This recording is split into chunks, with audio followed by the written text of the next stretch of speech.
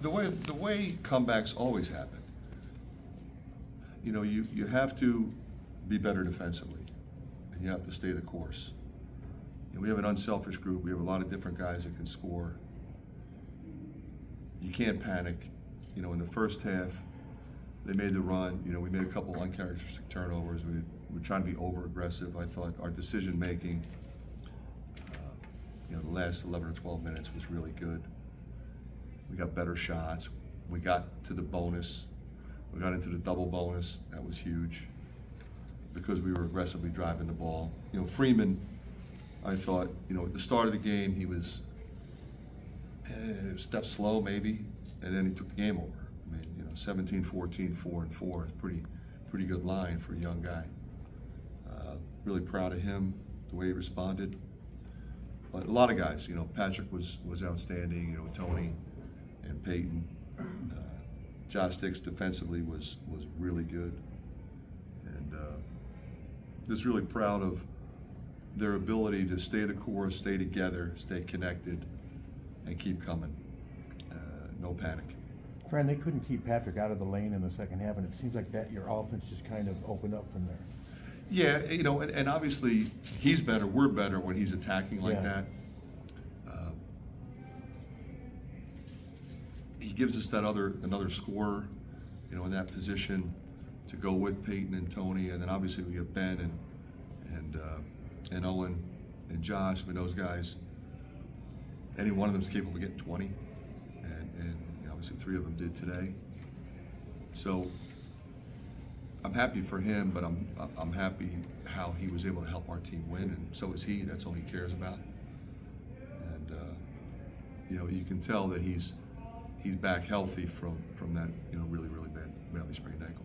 You stuck with that lineup for the last nine minutes. What did you like about? It? Well, you know, and I considered at some point uh, resting. It wasn't like take a guy out. It was okay. Is, is Patrick really tired? Is Tony? Is, who's really tired? But you know, Ben took a couple timeouts, and then we had our media timeouts. And at the end of those, I'm like, okay, they look they look fine. We have a lineup that's clicking. You know, they went. You know, both teams kind of essentially went small, and so I think that was important that uh, we keep that group together. Fran, at- at what point did you become aware that Owen had chipped a tooth, and just what are your thoughts on him? You know, dealing with Well, I knew it happened right away, and, and, and he opened up his mouth and, and you, know, you, you spit it out and keep playing. That's what you do. And I wasn't surprised that that's what he did.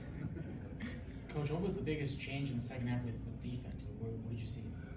We started being more aggressive at the point of attack. You know, trapping them a little bit, running around, scrambling a little bit. Uh, in the first half, you know, our ball screen defense was was not good. Credit them; they were moving the ball. They got great shots, and they made them. I mean, they made eight threes, and Garcia hit one with his toe on the line. Could have been nine. You make you make nine threes in the first half. You know, it's going to be hard to beat them. But you know, obviously in the second half, much better.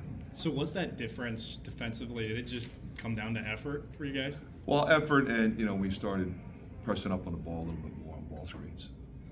How, how have you seen Owen? Because I mean, he's he's dealt with some foul trouble. Um, he also you know, off the court, you know, things that he's he's dealt with. How have you seen him just kind of navigate that the last few? Well, I think the impressive thing for him today was he didn't get off to a good start, and you know, I jumped him a little bit, and I do that because he's that good. He knows that I know he's that good, and I challenged him to be that guy, and he came right back. I mean, I'm going to put him right back in, which I did, and you saw what happened after that. So I'm not taking full credit for it. He did it, but he needed to be challenged at that moment, and it's impressive as a young guy that he was able to perform like he did, and that speaks to I think how special he is. Fran, I know your business-like approach, one game at a time, but with a win like this, can this be kind of a springboard for you guys in the Well, I final certainly hope so, Tom. You know, I, I think that's a possibility, but I think we can all agree that this league is really unique this year in the sense that pretty much every time two teams take the floor, anybody can win. Yeah. Uh, probably more so than ever. Certainly in my 14 years, but you guys have been doing it longer. I, I, I can't imagine. Seems like every game is coming down to the last minute, and uh, so I do think it, it changes your confidence level and it changes how you look at each other and it highlights what you need to do to win close games. Because obviously, you know, everybody's in a bunch of them. We've been in a bunch. And, you know, you got to win some.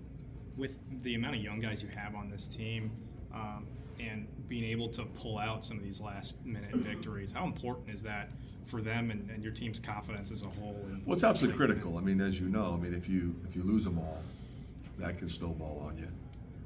You know, I mean, if you win them all, then you, know, you start feeling like it's easy. You have to deal with adversity, and you have to deal with guys on the other team making really good plays. You know, uh, like what happened in the Maryland game. You know, and sometimes guys are special. You know, same thing with Baldwin the other night. Made some tough shots. You to learn from that. During a, a timeout, it was announced that your family's foundation is donating over $130,000 to the adolescent and young adult um, cancer program. Just you know, why is that something that you? Well, I'm really proud of, of Margaret. She, she works incredibly hard with a number of different folks to put that event on. But obviously, that's not all she does. She's on the national board for ACS and she's on the national board for SES CAN. Uh, the local part of it obviously started when Patrick got cancer and Austin Schrader. Uh, and we, we were the second hospital in, in the Midwest to have uh, AYA program and identify that those cancer patients between ages 13 and 31 were not having the same outcomes as other cancer patients. And we have to figure out why. And we're studying that right here. They needed help, and they came to us. And you know, our events have raised well over a million dollars already, and we'll continue to work extremely hard with, as I said before, the help of a lot of different people. And uh, just really proud of Margaret and all the people that come to the event, all those people, people who support the event. Coach, Payne kind of talked about just the crowd. When you guys are down, the the deficit you had, and you guys start to claw your way back, how important is it to have the crowd just start to? It was it was amazing today, you know, because we you know the truth is we didn't get much to cheer about for a while, and and then we did, and, and they really energized the building and energized our guys, you know, and it's very helpful as we talked about a minute ago when you when you stick with a group for the last ten minutes, you need that kind of energy, so we're really appreciative. Payton, Alright. Payton also mentioned the Last question. Payton also mentioned the belief um, in, in the team. Where did that come from today? Well, you know, I think we have great leadership, you know, with Patrick, Payton, and Tony. Uh, they kept talking about that in the huddles. You know, we were positive as a staff. Uh, you know, I think we gave them some things defensively and offensively that we felt would work, and they did. And it doesn't really matter what you give them; they have to do it, and they did it. So now they, you know, have confidence in themselves. So. Uh, just really, really proud of their ability to stay locked in and get the job done. All right, thanks, Francis.